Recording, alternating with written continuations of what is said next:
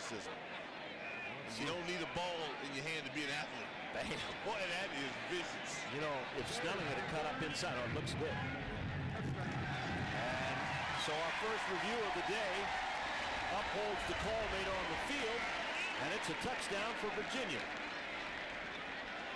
And Chris Gould getting ready for the point after out of the hold of John Phillips, a backup quarterback.